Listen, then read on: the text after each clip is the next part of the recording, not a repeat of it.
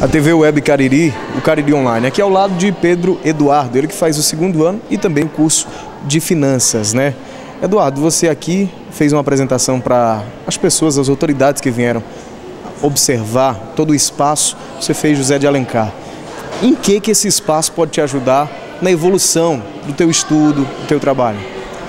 Bom, a, a encenação que eu fiz foi representando José de Alencar, um grande escritor aqui da, é, no espaço da biblioteca. É, é, um espaço que lhe influencia tanto na prática da leitura quanto na, na busca de novos conhecimentos através desses computadores. A escola está diviníssima.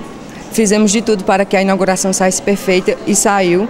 A representante do governador Cid Gomes gostou e a gente também ficou satisfeito pelo esforço que a gente fez e por ter saído tudo bem. Foi muito trabalhoso, mas valeu a pena. Muito obrigado. Obrigada também.